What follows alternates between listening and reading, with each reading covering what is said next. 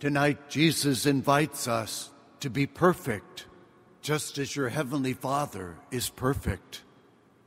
Wow, that's a tall order, huh? How can we, who are created beings, be perfect?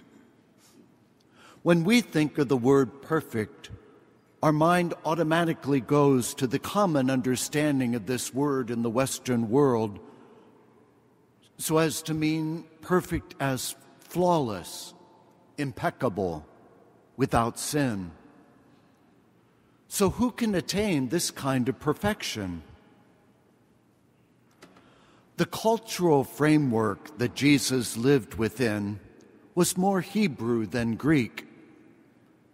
And so, digging into the language and culture of the time, we learn that for the Hebrew people, the word perfect was associated with the completion of a process of growth. And so, in asking us to be perfect, Jesus is asking us to become spiritually mature, to be compassionate as God is compassionate, to be merciful as God is merciful, to be a reflection of God's unconditional love, for God is love. Just as the saints reached this kind of perfection, so can we. So, how can we reach this dream that God has for us? Let's look at what Jesus said about his Father's love. He says, The Father's love shines on the bad and the good. God's love does not discriminate, it simply embraces everything. Using the example of the sun, we know that the light of the sun does not just shine on the vegetables in the garden because they're good and refuse to shine on the weeds in the garden because we don't want to see them there. The sun shines on everything, good and bad.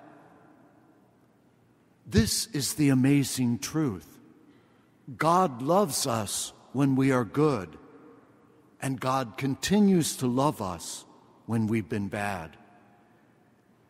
Consider the parable of the prodigal son. The father in this parable loves both his sons equally the younger son in his weakness and immaturity, and the older son in his bitterness and anger.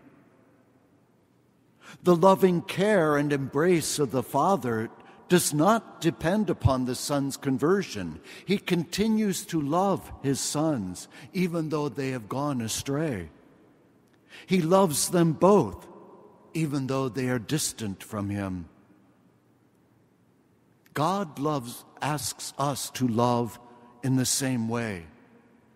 This is what it means to be spiritually mature, to be perfect, to be the face of mercy and compassion. How can we be compassionate as God is compassionate? How do we let our love shine on the bad as well as the good without saying anything goes? How do we love as God loves and still hold true to who we are, to the values and the virtues that we hold important? We do so by holding our personal and moral ground in humble and loving ways. Even as we let our love and understanding embrace everything. Our example for this kind of spiritual maturity is Jesus. He embraced everyone, sinners and saints alike without ever suggesting that sin and virtue were unimportant. Jesus is teaching us how to attain spiritual maturity by remaining committed to the Lord, especially when everything around us says, fight back, get even, be angry. Jesus is counting on us to bring about real change by acting in the most unexpected ways. And to give us several examples. Consider the example he gives of an eye for an eye. In the process of moral growth within human history, an eye for an eye was actually a step forward. Often, when people retaliated for a wrong done to them, they wanted a pound of revenge for an ounce of injury.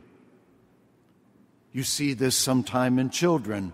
One child bumps into another, and the other one slugs him back, and then a fight breaks out. This rule, an eye for an eye, was put in place to prevent excessive punishment based on revenge and retaliation. Jesus recognized, even though, that an eye for an eye was not enough. Because an eye for an eye will leave both people blind. He wants us to realize we're all children of God. And so offering your left cheek when someone strikes you on the right cheek is a call to break the cycle of violence, to hold your ground for what is right. In the time of Jesus, a slap in the face was considered a terrible insult for the Jewish people. It was a very demeaning act. And so, by offering your other cheek, you're challenging the person to treat you as an equal, a temple of God's Spirit. You stand your ground for what is true, but not fight back as the other. Then Jesus says if someone goes to court for your tunic, a tunic being an inner robe like a nightshirt, Jesus says not only give them that, but give them your cloak, the outer garment as well.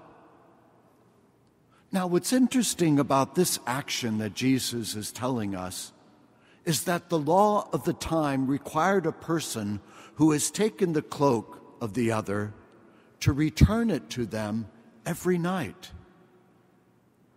to return it to the one who now has no cloak, so that they can be protected in the night.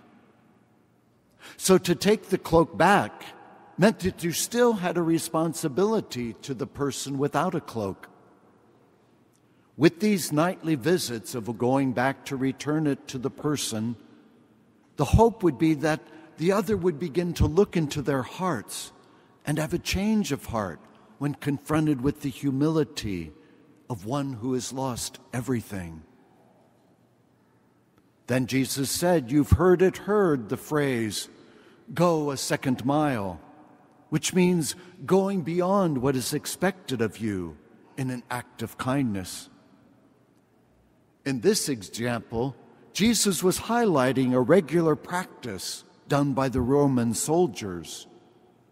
The Roman soldiers had the authority to force civilians to carry their 80 to 90 pound pack service for one mile, but only for one mile. Once you fulfilled your mile, you were free to go, your obligation finished. But in carrying the load an extra mile, you were demonstrating to them the quality of a servant's heart, sharing more than what was expected of you as an act of generosity, which shows the strength of your heart. God's love is transformative when we put God's love into action by imitating Jesus, we're rejecting the ways of this world, ways that so often seek revenge, retaliation, arrogance, and the practice of unforgiveness. God loves both the good and the bad. So should we. God forgives sinners so should we forgive others. God is trustworthy. So should we be people of trust. This is what it means to be perfect, to be spiritually mature, to become a saint. Can we be perfect as our Heavenly Father is perfect? Yes, we can, with God's help.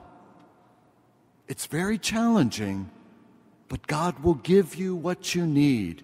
God will show us the way.